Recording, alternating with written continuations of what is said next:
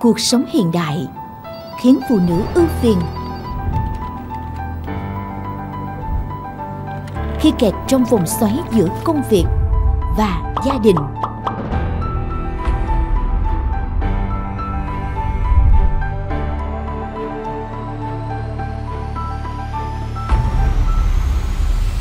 Nhưng chỉ cần thay đổi một chút, cuộc sống sẽ dễ dàng hơn hãy để Corners san sẻ ưu tiên cùng gia đình bạn. Với Corners việc vào bếp trở nên nhẹ nhàng hơn bao giờ hết. Và tràn ngập niềm vui. Corners chống sức ưu việt, san sẻ ưu phiền.